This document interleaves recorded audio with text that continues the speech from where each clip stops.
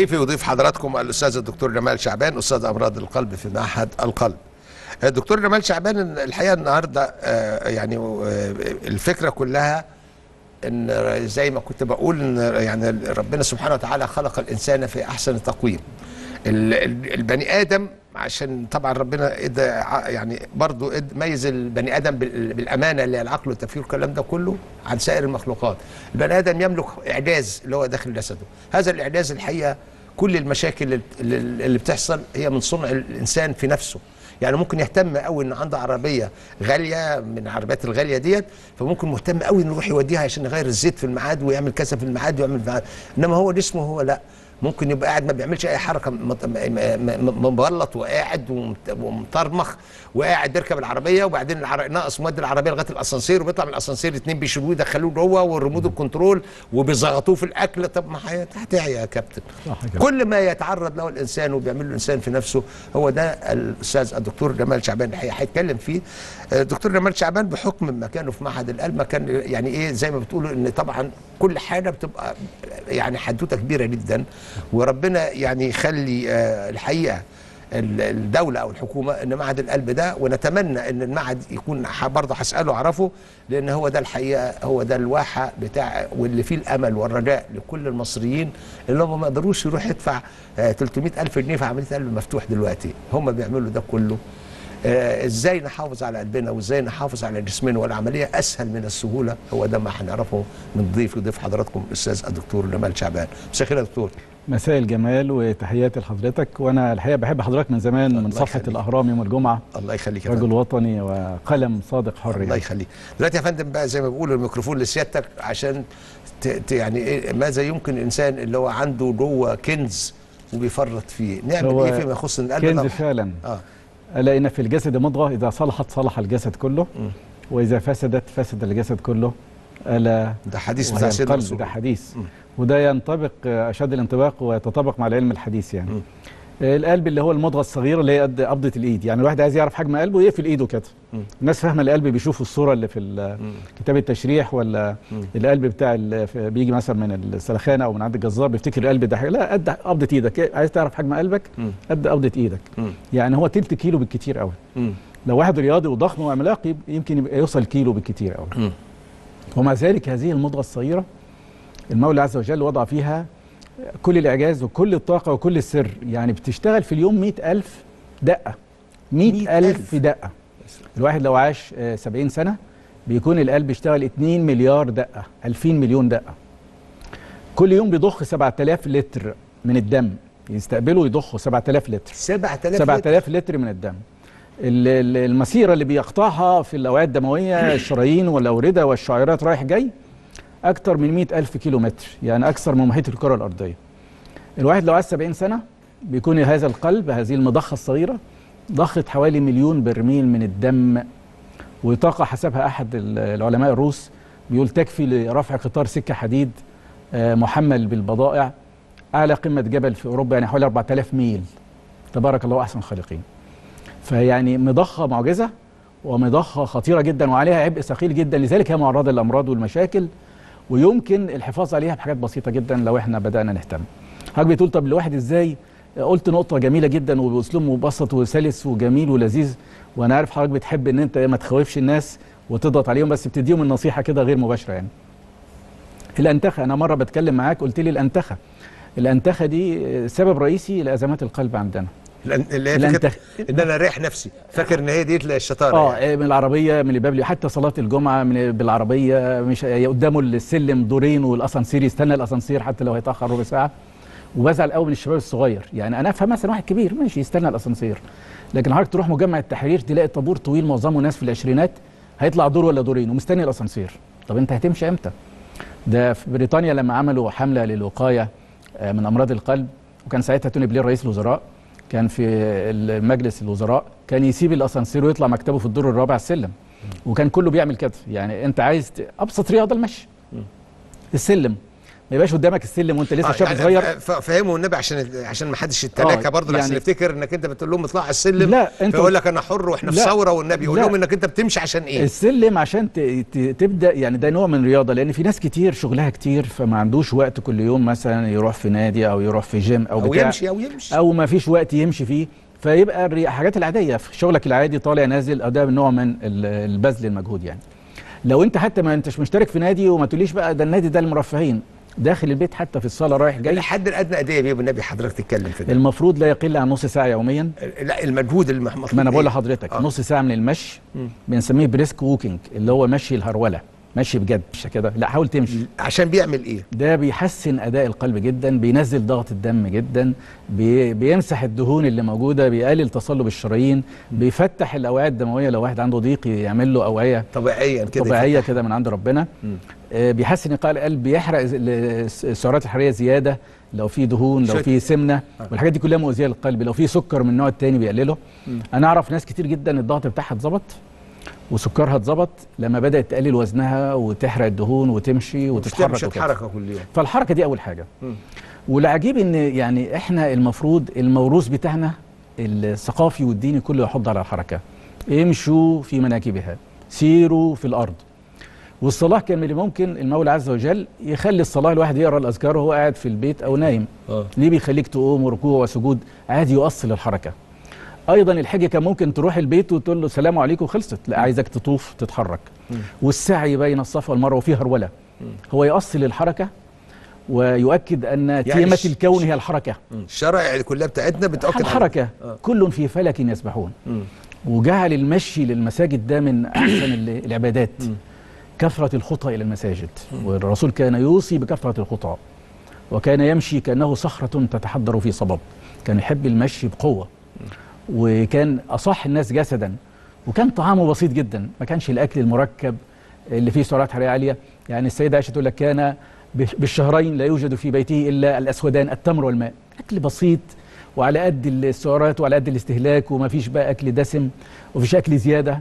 ما اقعدش طول النهار في الشغل وارجع الساعة 12 بالليل وجبه عشاء دسمة كأني بتغدى وأنام بعدها بنص ساعة. ده ممكن قلبي يتعب جدا. تتعب القلب الحدوتة تتعب دي القلب وتتعب الدماغ وتعمل جلطات في الاوعيه الدموية بتاعت الدماغ. يا رب. آه وفي دراسة أمريكية طلعت لقيت الناس اللي بتعمل كده عرضة لمشاكل تصلب الشرايين. لكن دايما أقول له إيه؟ العشاء ده أخطر وجبة. يا تتعشى بدري يا ما تتعشاش. عايز تأخر؟ يعني. آه ادي عشاك لعدوك. لو واحد بتكرهه اديله العشاء. يعني الفطار تاكله كله لأن ده أهم وجبة. لذلك هتلاقي كل الفنادق العالمية bed and breakfast الفطار ده مهم جدا وتلاقي الفطار متنوع. يعني ده اللي هتسحب منه طول اليوم. وصحي ومفيد. الغداء تقسمه مع صديقك بقى. اقسم نصف غداك مع من تحب. يعني الوجبة هتجيلك بتاعتك ما تاكلهاش كلها برضه. طب من فضلك عايزك تكلمنا هنا شوية كده في الحتة من آه. أول الفطار لغاية لغاية ما نوصل لحكاية العشاء ده. كلما كانت الوجبات قليلة ومفيش امتلاء في البطن كلما كان الصحة أحسن والوقاية من القلب آه، أحسن. ودي إحنا بنشوفها في حالات كتيرة جدا. يعني أنا بيجي لي العيان يقول لي بص يا دكتور كان لسه عندي امبارح عيانة. تقول لي بعد ما أتغدى ألاقي صدري قفل. طب الأكل في البطن إيه اللي جاب الصدر بقى؟ هي بيجي ده- لها ما هي دبت اتنين بس. كده. آه. فحولت كل نشاط القلب للمعدة. فالقلب مش قادر كأنها بتعمل مجهود زيادة. فجي لها الأزمة بوست برانديال انجينا بيسموها اللي هي الذبحه أو القصور. بعد الوجبة الثقيله قلت لها لا بصي بر تاني اشرحها حضرتك عشان ما ناس هشرحها دي. آه. اللي هو ال- التقل اللي بيجي في الصدر أو الوجع اللي بيجي بعد ما تملى بطنك وخاصة لو أنت عندك الضغط أو السكر ما تفوتهاش كده. ما تقولش أصل أنا أكلت زيادة شوية. لا.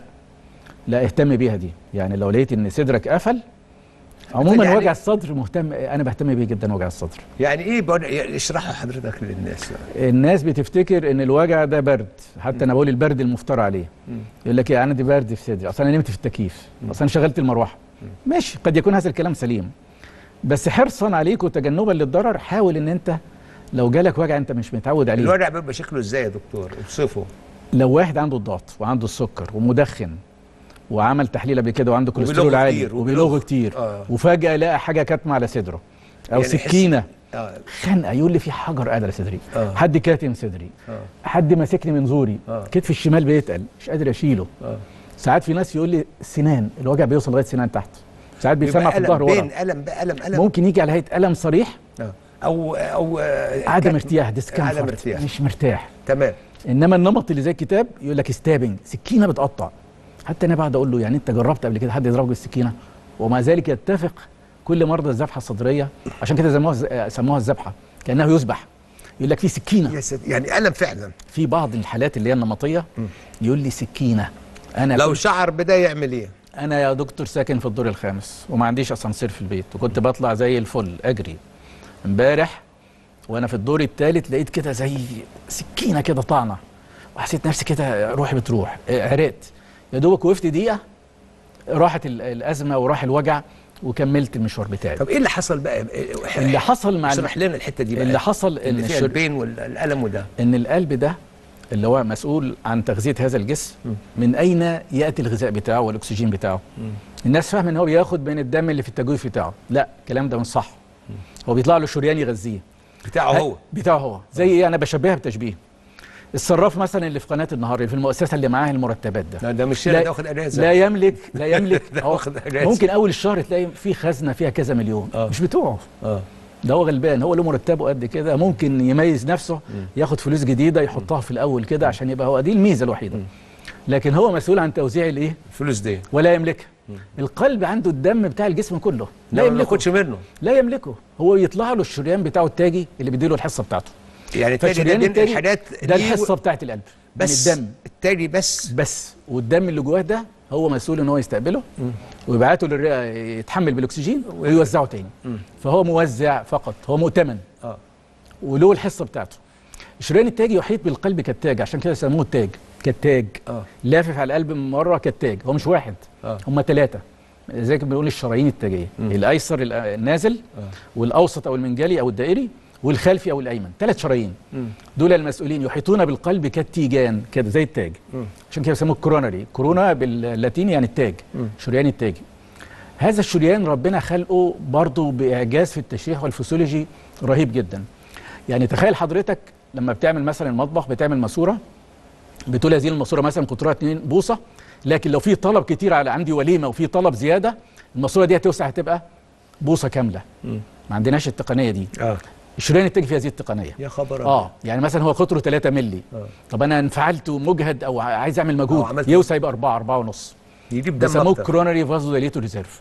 الاحتياطي الاستراتيجي للتمدد والاتساع بتاع الشريان التاجي. بس بيتمدد لفترة. بيتمدد وقت الاحتياج. آه، وبعد بس كده بس ما ما كترش الاحتياج ده لا ما ريح أنا. بقى. ما آه، تستهلكش. ال reserve آه، ده. آه، آه. ما تستهلكش ال reserve ده. إن ال reserve ده والاحتياطي ده لو ضاع يجي لك تصلب في الشرايين بعد كده يجي لك أزمات. آه لذلك حتى أنا مثلا بتأمل في الآية القرآنية ألم نشرح لك صدرك؟ في ناس يقول لك يقصد إن هو شرح صدره يعني اليسر والتيسير وإن حالته النفسية كويسة. أقول له لا مش بس كده. هو شرح للصدر بالمعنى العضوي أيضا. يعني لما أقعد أتأمل في الشرح بتاع الصدر بتاع الإنسان في التشريح هو عمل شرح للقفص الصدري. حف- حفاظ للقلب. الأعضاء المهمة لها حفاظ من نوع خاص. يعني الجمجمه مثلا المخ عشان الخلية غالية جدا والخبطة ما بتتعوضش. عمل له قفص صلب استحالة حد يلمسه ده بعيد. لما جه على البطن مثلا المعده والكبد والكلى مهمين آه لكن يعني الخلية واحدة تقوم بدور 100 خلية يعني في احتياطي كبير قوي. القلب لا الخلية تفرق. فلذلك عمل له القفص. والمخ عمل له القفص. لكن قفص القلب غير قفص المخ. قفص المخ صلب لأن المخ ثابت. إنما القلب ده بينقبض وينبسط فبقى فيه شرح مع الشهيق والزفير التمدد. أيضا في شرح للشريان التاجي التمدد اللي أنا قلته اللي هو الايه؟ من شوية. مع الطلب عليه يتمدد. مم. لذلك اللي هو عنده ضيق في الشرايين أو تصلب في الشرايين بيحس إنه إيه؟ صدره ضيقا حرجا كأنما يصعد في السماء. ده العكس بقى. الله. اللي بيطلع اللي هو ال- جبال الهيمالايا يحس بخنقة في صدره كده زي الذبحة الصدرية. ده وصف الذبحة الصدرية. اهو بتقول لي وصف لي الوجع ضيقا حرجا. ضيق حرج يعني يحس discomfort tightness حاجة خنقاه حاجة ماسكاه كده. فهذا الضيق الحرج بيحصل نتيجة إن الأكسجين بيقل في الارتفاع فبتيجي اعراض زي اعراض الذبحة الصدرية. فالشريان طبيعته في العادي متمدد. إحنا بقى من جهلنا زي ما حضرتك بتقولي إحنا بنفسد كل شيء كويس. بناكل براحتنا ما بنتحركش بندخن. سجاير بنعمل الشيشة والبنات تفتكر إن هي مودرن بقى بتدخن السيجارة. وتروح الكافيه يبقى والدها بيشرب عصير برتقال ومامتها بتشرب عصير وهي شيشة بالتفاحة وفرحانة هم فرحانين بيها. كيفين هم. آه وحضرتك لو دخلت أي كافيه هتلاقي المنظر ده. الأب قاعد فرحان بس بيشرب عصير والبنت هي اللي بتشيش. ويقول لك أصل معلش الجيل ده بقى فوت له شوية. دول بيصابوا بالقلب بدري. فالحاجات دي كلها بتترسب في جدار الشريان بتتلف هذه الخاصية الجميلة. يعني الشريان اللي عنده القابلية للتمدد بيبدأ يفقد هذه الخاصية. يبقى صلب يقول لك تصلب الشرايين. أو بتسمع اللي عنده تصلب الشرايين فقد المرونة فقد الشرح فقد الاتساع. فبدل ما كان قطره 4 مللي بقى 2 مللي. يجي له بقى الخنقه دي. ما بيقدرش يلبي الاحتياجات لما يكون الواحد عايز احتياجات زيادة. فتيجي بقى الذبحة الصدرية. وقد تنتهي إنه يقفل خالص. لو قفل خالص دي جلطة الشريان التاجي دي كده تبقى الرد. طيب دكتور آه، آه، آه، انت حضرتك عملت لنا عرض ما شاء الله جميل ورائع جدا ربنا سبحانه وتعالى يعني خلق وخلق لكل حاجة زي آه. زي ما أقول ربنا ما طبعا كان ربنا عارف الإنسان آه. هيبقى مخه ظلم قد إيه وعارف. هو هو اللي- يعني ده الإنسان عدو نفسه عدو نفسه آه طيب الإنسان عمل اختراعات كثيرة كل الاختراعات اللي عملها هي كانت ضد ضد الحاجات لأن في حد أدنى من المجهود وفي حد أقصى من المجهود حضرتك حضرتك كلمتنا عن الحد الأدنى. يا ريت حضرتك برضه تشير إلى الحد الأقصى لأن ده ما بيتكلموش عنه لأن الحد الأقصى ده محرم الكلام فيه. الحد الأقصى مجهود. لأن دلوقتي بقى عندنا بل- لأن ده بقى كله ده بندرج في رياضة الاحتراف أو البطولة آه. اللي هو بيتمرن 8 ساعات وست ساعات. و و وده وده واذا كان ربنا مديك مضخة تعمل أو بتعمل 4 مليار ومليون طن ومش عارف إيه الكلام ده كله ده. بالعقل. آه هيخليك حلو عشان انت يعني خفة تعوم يعني المسألة آه. فالحد الأدنى ده ممكن يعمل لنا إيه الحد الأقصى لما أنا أستهلك أو أو أو إن أنا أحط الشريان التالي أو ثلاث شرايين التالية دي إن أنا بحطه في ضغط على طول عشان يبقى واسع على طول لما حي حي يفلت مني يعني. الحد الأقصى ده ممكن يعمل لنا إيه؟ هو يعني برضه فضيلة الاعتدال. مم. يعني هو كل حاجة الواحد ممكن يعملها بس الاعتدال. لكن الرياضات التنافسية مطلوبة أيضا. يعني في رياضات تنافسية بتخلي الرياضيين آه، عندهم مزايا مش موجودة في الإنسان الطبيعي. يعني حضرتك مثلا أنا قبل بعثة الأهلي ما يروحوا مش عارف كان بطولة العالم للأندية مش عارف كانت في فين؟ في أسبانيا ولا في المغرب اليابان. لا الثانية في المغرب؟ لا كانت في آه، في واحدة في شمال أفريقيا أو في أسبانيا اللي هي الثانية لا كانت حاجة في دولة عربية. آه، المهم. شفت أنا رسومات القلب بتاعت بعض اللعيبة. في لعيبة بتجري 9 كيلو في الماتش النبض بتاعه 35 نبضة في الدقيقة وكانوا بيفتكروا إن عنده مشكلة في القلب. قلت لهم لا. ده قلب رياضي. الضربة باثنين وبثلاثه حضرتك لو عملت رسم القلب بتاعك أو أنا عملت رسم القلب بتاعي أو عديت النبض بتاع حضرتك أو النبض بتاع الناس اللي هم المعتدلين في الحركة أو بتاع مش رياضيين بالمعنى الجامد نبضه مش هيقل عن 80 90 إلا إذا خد دواء يبطئ النبض. دول نبضهم 35 في الدقيقة. ليه بقى؟ عضلة القلب تضخمت. زي ما هو السمانة بتاعت رجله بقت قد كده زي ما عضلة دراعه قد كده زي نعم. ما عضلات صدره برضه اللي عضلة القلب تضخمت. نعم. تضخم فسيولوجي واحد هيطلع يقول لي إيه؟ طب يا دكتور يعني تضخم القلب مش أنت بتقول التضخم ده حاجة مرضية؟ ولما بيجي لك عيان تقول عنده تضخم في القلب أهله يقعدوا يعيطوا بقى يقول لك ده هيجي له غض في لا ده حاجة ثانية أنا أقصد. ده تضخم فسيولوجي. إيه التضخم الفسيولوجي العضلة بتكبر بتاعت القلب وبيزيد الشريان بتاعها يكبر معاها. يعني تطلع شعيرات دموية جديدة لأنها فسيولوجية ونشاط. ربنا بيخلق لها أوعية دموية جديدة فبتبقى متحافظ عليها. غير التضخم المرضي اللي عنده ضغط الدم عالي أو عنده ضيق في الصمام الأورطي فتبص تلاقي العضلة تضخم تضخم مرضي تبقى ولا- في الأول حاجة وقائية. لكن بعد شوية مفيش. سبلاي ليها. مفيش شرايين موازية لهذا التضخم تبدأ تتلف وتتليف. فالرياضيين ربنا مديهم قدرات عالية وقلبهم بيبدأ يتكيف مع الرياضة. وهم بتتعمل لهم اختبارات تنافسيه بحيث مش أي حد بيوصل لهذه المعدلات العالية. آه. يعني مثلا في الأولمبيات هتلاقي الناس اللي وصلت للأرقام دي دي ناس خارج السياق. فدي إحنا مش هنتكلم عليها. ده عنده مستويات من الأداء وبذل المجهود ومعدل النفس ومعدل النبض والضغط بتاعه ما بيعلاش وهتلاقي قلبه بقى خلاص متكيف مع هذا المجهود العالي. لكن في ناس تانية بقى هنا وإحنا شفناها مثلا في الملاعب وحضرتك مرة استضفتني ساعة عبد الوهاب الله يرحمه اللي هو مش عارف إن هو عنده إيه أساسا. عندنا الطب الرياضي في مصر الحقيقة محتاج وقفة كبيرة جدا يعني. يعني على الأقل هم بيخافوا إن هم حد يعمل له رسم قلب قبل ما يدخل أو يعمل له موجات صوتيه على القلب. يعني بيتزنقوا بقى لما يكونوا مسافرين. يعني الحاجات دي اتعملت لما كانوا مطلوبين بره. قالوا طب تعالى نعمل لهم بقى موجات صوتية ونشوف قلبهم لأن الفيفا طالبة شوية حاجات. مم. طب الناس دي اتعمل لها حاجة قبل كده؟ لا ولا حد بص فيهم. مم. فإحنا ممكن تلاقي واحد احترافي وما يعرفش إن عنده مشكلة. مشكلة في القلب. أو اختلال كهربي وتجي له مشكلة فجائيه وإحنا شفنا نماذج قبل كده في الملاعب عندنا في مصر. وكان يقول لك ده بلع لسانه. لا هو بلعش لسانه. هو كان عنده مشكلة مش معروفة. وفوجئ بيها. طب نقف يعني نقف هنا ونوضحها لأن البلع ده كل ثلاث ثواني في مش لسانه بيبلع ودانه كمان. واحكي لنا حكاية البلع إيه الحكاية بقى؟ هو الحقيقة لما بيحصل فقدان في الوعي اللسان بيرجع لورا بيسد ال- اللي هو ال- القصبة الهوائية ده وبيسد أوتوماتيك ولا ده. حالة؟ حالة. لا حالة نتيجة إن خلاص فقد السيطرة. لأن هو في الوعي التام آه. في الوعي التام حتى لو نايم الجهاز اللسان العصبي عامل حساب عامل حسابه وظبطه بحيث إنه يبقى لقدام. إمتى يسقط اللسان لورا ويقفل؟ ده خلاص فقد. فدي بتيجي بعد يقول لك إيه؟ هم بيشوفوا آخر خطوة. في قبل منها خطوة. هو فقد الوعي. هو فقد الوعي نتيجة ما فيش دم رايح للدماغ. القلب وقف. فهي تبدأ بتوقف القلب. وتوقف القلب أو السكتة القلبية عند شباب الرياضيين هي قليلة جدا عشان برضه ما نقعدش يعني واحد في المليون في السنة. لكن هي بتبقى درامية ليه؟ لأن ساعات بتيجي شخصيه مشهورة. والناس كلها عارفاها وشايفين إن هو فت ولياقته عالية فبيبقوا زعلانين عشانه قوي يعني دي ال ال ال ال أنا النهارده بلع اللسان يبقى هو تعرض لفقدان. للوعي. الوعي. نتيجة مشكلة قلبية حادة. نت- نتيجة م- مشكلة في القلب. بص حضرتك.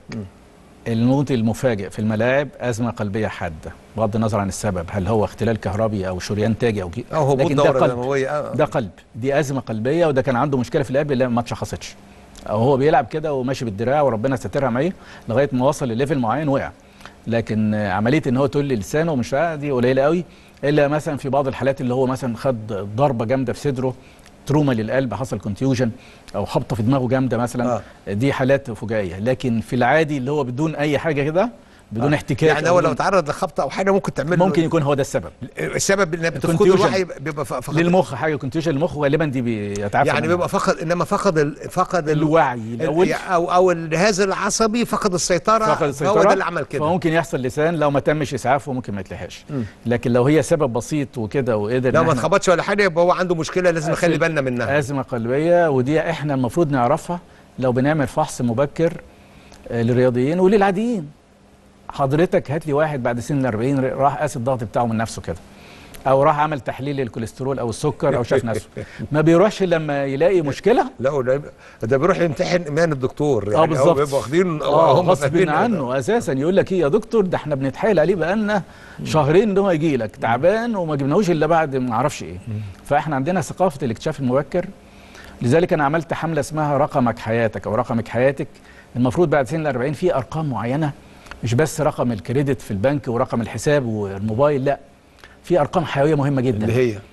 ضغط الدم. مم. يعني الضغط المثالي 120 على 70 لغاية 140 على 90 ماشي الحال. بس تحاسب أنت داخل على مريض ضغط.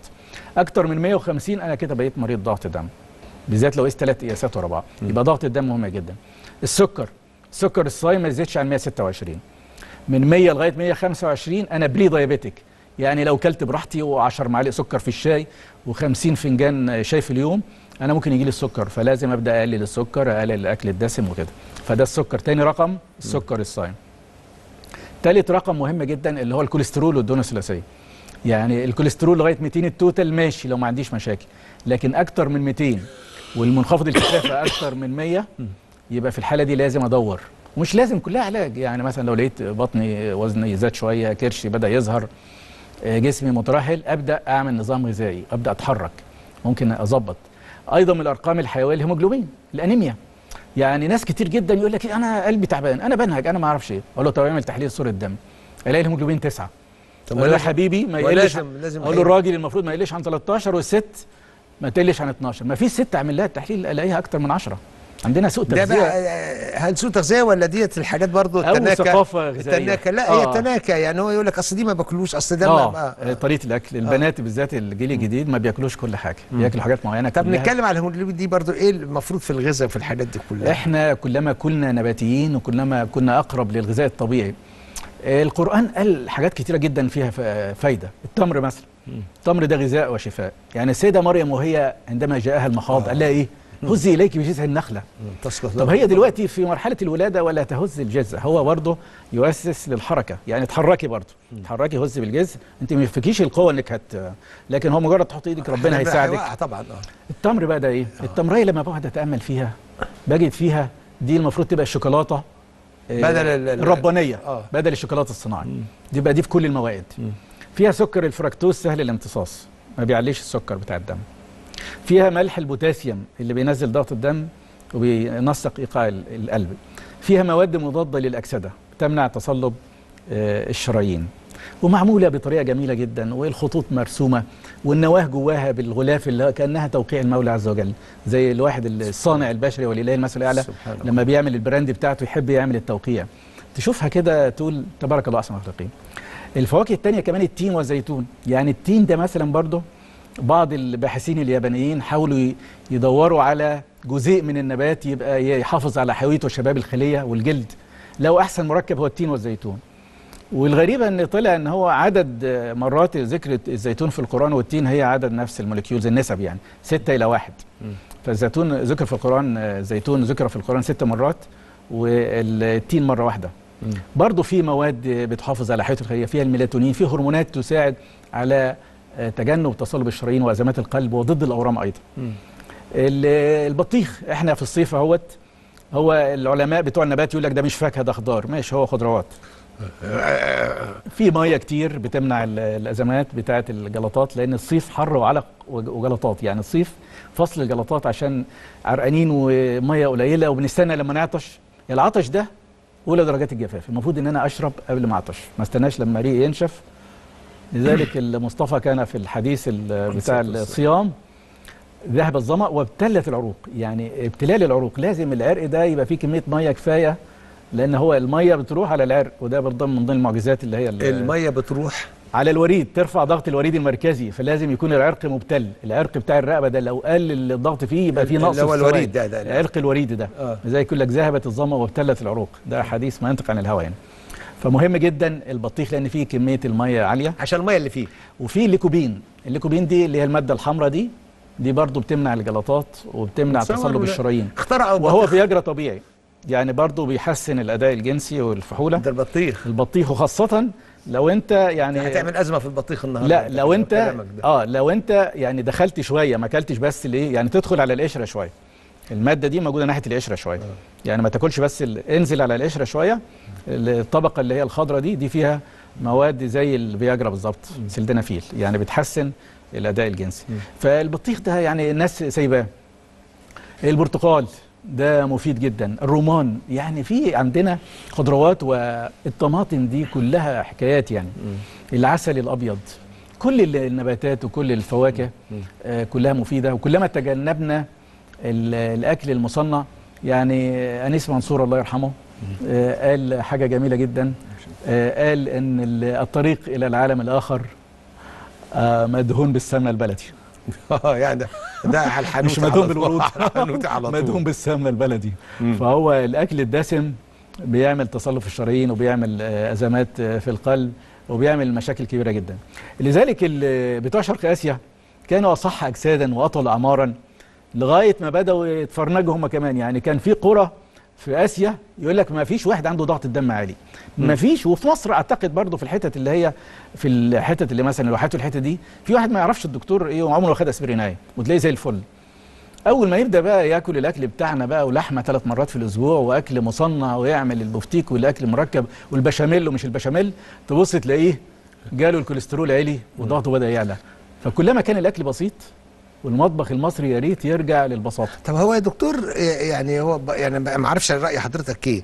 أنا باهتيالي إن لو كان إحنا اكلت لحوم كان ربنا عمل لنا أنياب. صح. إحنا مالناش أنياب إحنا مش اكلت لحوم. يعني إحنا ربنا خلقنا عشان ن- ن- ناكل في السكة دي. وهنالك يعني أنا ما أعرفش المعلومة دي صحيحة ولا لأ عن ان سيدنا رسول الله ما كانش بياكل لحمة إلا كل 40 يوم. بالظبط. فبرضه. حضرتك آه، كانوا مقلين في آه، اللحوم فحضرتك ما تشرح لنا لأن الناس فاهمة إن اللحمة كل يوم أصل ما ما يعني إن دي حاجة عشان يعرفوا إن ديت بتجيب أجلهم. وحتى اللي معاهم اللي معاهم دول عشان يبطلوا شوية. يعني يعرف إن هياكل لحمة يعني آه، عمره بيأثر. اللحمة الحمراء فيها ثلاث مشكلات. مم. ممكن تعلي ال uric acid وده بيعمل التهابات في المفاصل ومش عارف يقول لك إيه عندي الركبة مش عارف إيه عندي صوابع رجلي مش عارف إيه عندي حرقان في رجلي. أقول له بتاكل لي اللحمة ست مرات. نعمل ال uric acid نلاقيه 9 10 أقول له قلل اللحمه شوية. يقلل اللحمه من غير ما أديله أدوية الاقيه يتحسن أدي أول حاجة.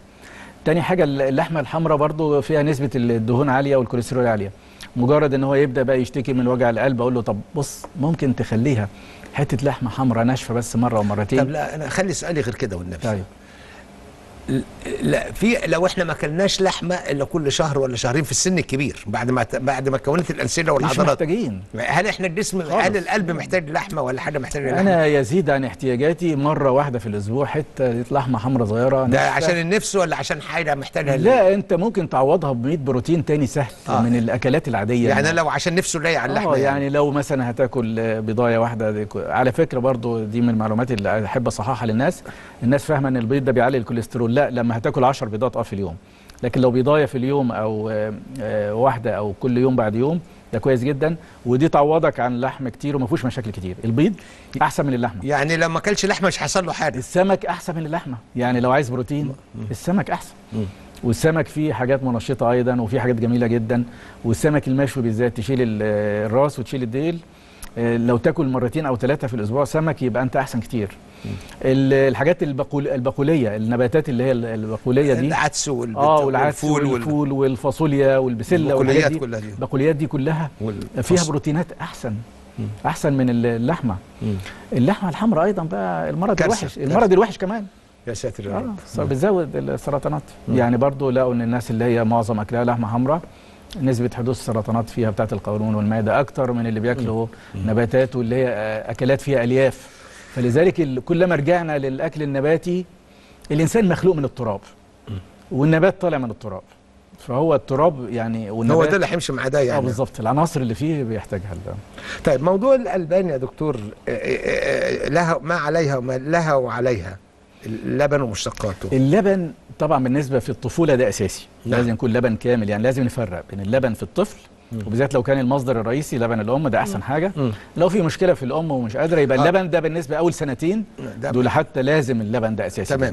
لكن يجي بعد كده في مرحلة مثلا اللي هي ال- البلوغ أو المراهقة أيضا يكون اللبن مفيد جدا. شريطة ألا يكون الطفل وزنه زيادة. ما إحنا يا أستاذ إبراهيم عندنا برضه ثقافة بنحب الطفل المربرب تحب عايز عشان- ملزلق آه، تقعد تديله- آه. تديله تديله لغاية ما يبقى وهو صغير 10 سنين تلاقيه 50 كيلو. وتقول لي فرحانة بيه. وبيجي لي ناس العيادة كده. أقول لا الواد ده تقول لي ده 10 قلت لها 10 سنين بالحجم ده ده مش هيرجع. الخلية لو تمددت وخلاص هيبقى ده حجمها. مش هيخس الواد ده بعد كده. فإحنا بنقعد نغذي فيهم زيادة. فلو هو وزنه كويس هتديله اللبن عادي جزء من غذائه. لكن لو بدأ يبقلص بقى وبدأت عليه علامات السمنة لا تعالى بقى. هيتعامل معاملة الكبار ويتحسب له الكالوريز وياخد لبن منزوع الدسم ويمشي زي ال- الألف. نيجي بقى بالنسبة للكبار. اللبن مفيد جدا أيضا لكن مش مطلوب منه الوش بتاعه الدسم بتاعه. الدسم. فلو كان لبن منزوع الدسم ده يفيد جدا. ولو هيتاخد مثلا مرة الصبح آه، ده مفيد جدا لل- للجسم ومفيد آه، لبناء الخلية وحركة الأمعاء وتسهيل الطبيعة وتجنب الإمساك. فهو له فوائد كتيرة جدا يعني. برضو الناس ما بتحبوش. يعني تبص تلاقي اللبن الناس ما بتحبوش ويبدأوا يستغلوه بطريقة غلط. يدخل بقى في مكونات وبقى الحاجات بقى الجاتوهات والحاجات التقيلة. بيدخلوه في مركبات كده يطلع فاقد الفايدة بتاعته. طيب دكتور عشان نلحق بس فاضل لنا ثلاث دقائق ولا أربع دقائق كهربة القلب. آه. جربت القلب ده مرض العصر وده تخصص التخصص بتاعي وأنا الحمد لله بعتبر نفسي من المحظوظين.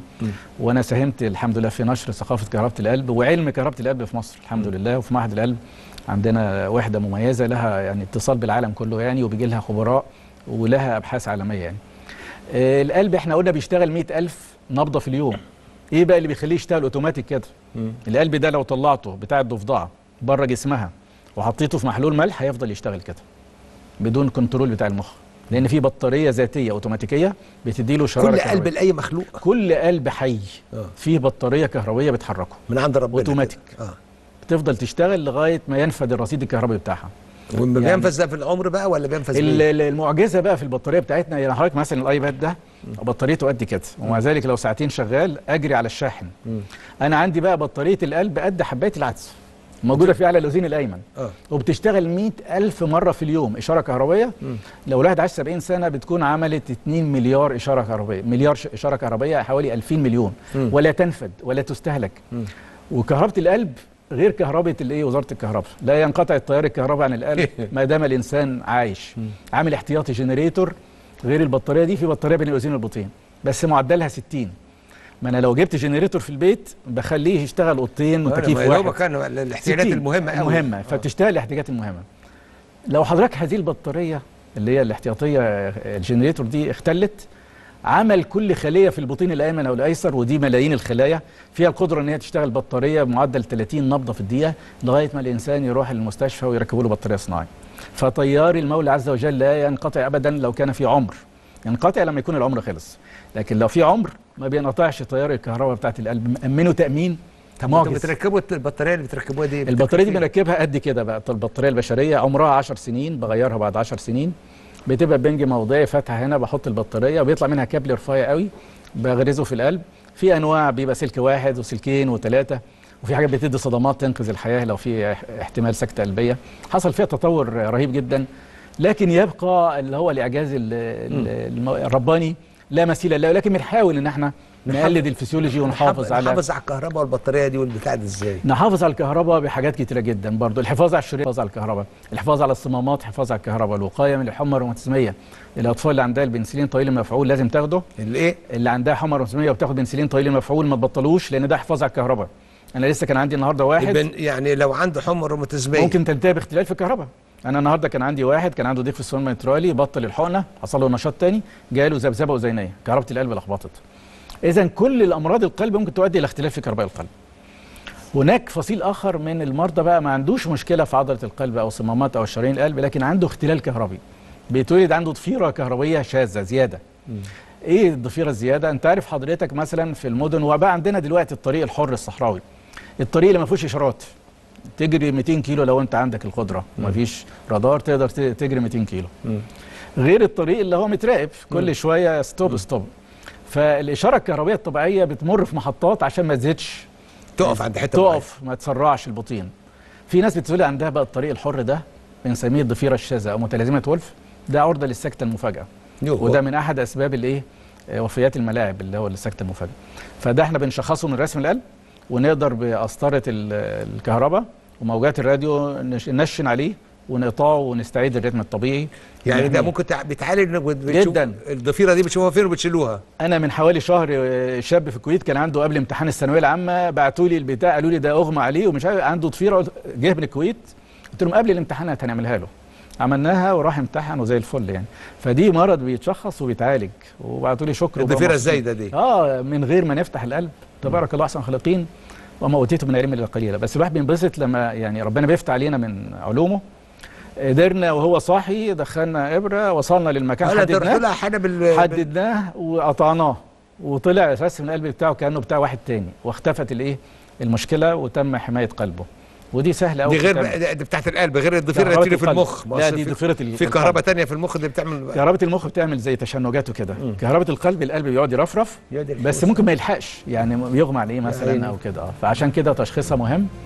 وزي ما قلت لحضرتك علم كهرباء القلب ده علم حديث ومتطور وإحنا بقينا متقدمين فيه جدا. وعندنا آلاف المرضى بنعالجهم من كهرباء القلب في مصر يعني. طيب ال... ال... ال... مصر غنية بكل حاجة. ما شاء الله ما شاء الله. لنا ترتيب عالمي في الضغط وفي السكر وفي السمنة وفي كل الحاجات اللي انت يعني بتودي إلى مرض القلب. ومرض القلب عندنا هو رقم واحد للأسف. يعني الناس فاكرة فيروس سي أو فاكرة السرطان لا. القاتل الأول في مصر. دلوقتي بقى مرضى القاتل. الأول هو ونزل معدل السن. القاتل الأول في العشرينات والثلاثينات. والسير مجدي يعقوب قال الكلمة الشهيرة بتاعته قلوب المصريين هي الأكثر وجعا في العالم الأكثر وجعا أكثر قلوب موجوعة. هي موجوعة معنويا طبعا كفاية الخمس سنين بتوع الخريف العربي اللي بيقولوا عليه الربيع العربي. ما شفناش فيه غير العواصف والخماسين. فده عملت وجع زيادة. والتلوث والزحمة وإحنا برضه محتاجين نهدى شوية. يعني برضه من ضمن القلب المصري اللي خلاه أكثر وجعا إحنا محملينه زيادة. نرجع كده للرضا ما زي والقناعة. ما تاخدش كل حاجة على قلبك لا, يعني. لا الرضا والقناعة. إحنا كنا طب ما دي من عند ربنا يا مولانا. الميزه بتاعتنا إن إحنا كنا راضيين يا- بالبسيط. يا عم يا عم الدكتور ما هي دي من الحاجات اللي, اللي هم فسخوا بيها مصر. آه. الرضا. فدي حاجة من عند ربنا. طيب إحنا دلوقتي آه، وقتنا خلص. ولو ان الحديث في هذا الموضوع آه، أنا شايفه إنه لا يعني حلقات صعب إنه ينتهي. آه صعب إنه ينتهي. فعشان كده إحنا عايزين حضرتك ال- ال- المرة الجاية إزاي إزاي يا دكتور النهارده تبقى كل أم وكل أب في كل حتة؟ اللي هو ما بيقدرش يشوف دكتور كبير يقدر يشرح له إيه. لو أنت إيه لو حصل إيه طفلك بقى بنتكلم على الأطفال لو حصل إيه نعمل إيه الحق يعمل إيه بس عشان خاطر نبتدي نلحق لأن هو لو لحقنا من الأول بتبقى سهلة بالنسبة لي وأنا برضو بحيي حضرتك إنك تتبنى هذه الفكرة آه. بعيد عن اللغط السياسي والتوك شو واللوكلوك اللي ودانا ورا آه. برامج هادفة كده تعلم الناس حاجة ما في ده ده إن شاء الله وتحافظ على صحتها طيب إيه وأنا- بس وعدنا إنك أنت تفضي نفسك أنت إن شاء الله. آه يعني الدكتور الأستاذ دكتور جمال شعبان بشكر حضرتك جدا جدا. أنا شخصيا استفدت جدا جدا ربنا. يخليك وربنا يزيدك من علمه يا رب ربنا يخليك يا رب بشكر حضراتكم تصبحوا على خير.